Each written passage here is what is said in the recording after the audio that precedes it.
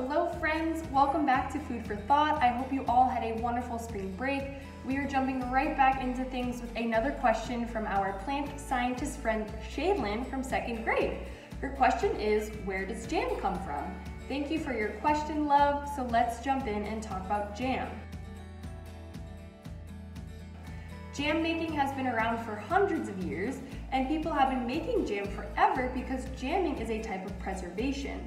To preserve something is to keep it in its original or existing state.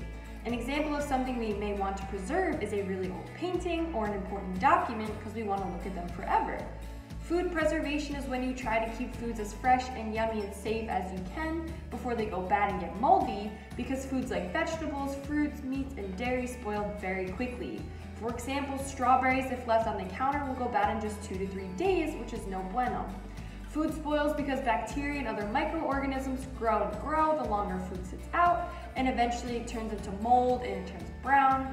And to prevent this from happening, food preservation techniques were created to keep food fresher and safer to eat for years.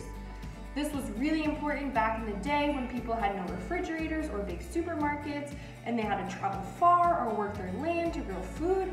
They had to put in a lot of work to get food, and if their food went bad, it wasn't easy to get more.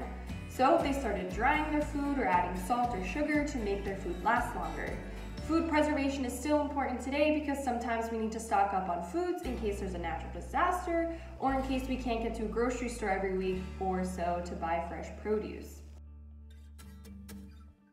So we know where the process of jam making came from, but how is jam actually made?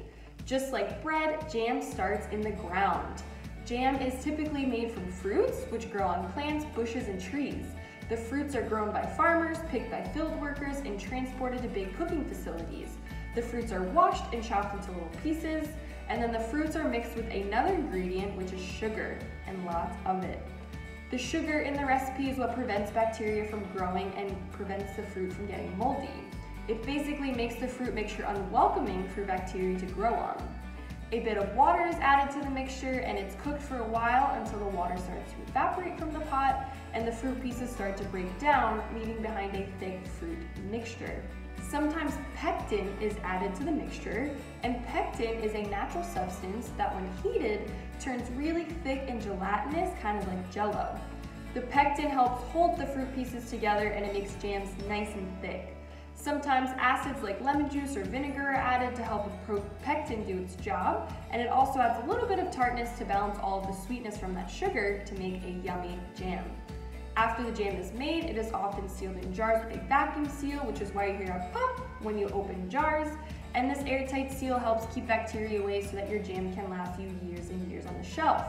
Before being turned into jam, the fruit may have only lasted a few days or weeks before spoiling, but after being turned into jam, the fruit jam can last for up to one to two years. You can make jam out of just about any fruit. Strawberry and grape are very popular jam flavors, but there's also blackberry, currant, apricot, cherry, peach, apple, plum, rhubarb, and even tomato jam, because yes, tomatoes are fruits. It's a pretty easy way to make sure you can enjoy your fruit for a long time and it also tastes delicious on a piece of toast, bagel, or some Ritz crackers.